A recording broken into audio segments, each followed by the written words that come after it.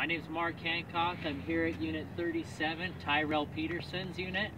He is longer than 60 days late on his unit, so we're going to cut the lock and take inventory.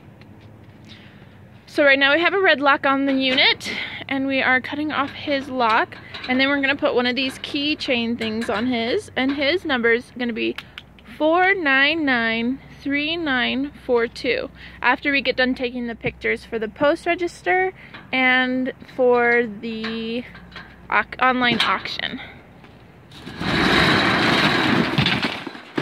Oh wow.